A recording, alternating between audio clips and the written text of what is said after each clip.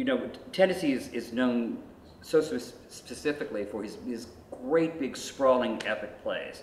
But some of these, these smaller little jewel-like plays are so, are so um, complete, and this one is. So we're able to get, to pack a lot into this short play because we only have four actors and we have an amazing design tech staff.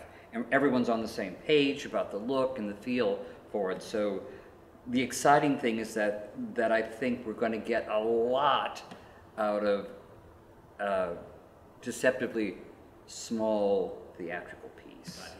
This play is doing a Tennessee Williams play about New Orleans that is performed in New Orleans. New Orleans people love to see New Orleans on stage.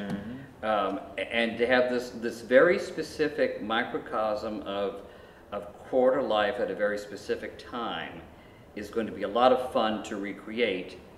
But that, but that's just, that's just the ground floor. On top of it is this wonderful personalities and, and, and Candy's whole, whole spirit and, um, and, and fantasy life on top of it, which I think is, is, is perfect Tennessee Williams, you know.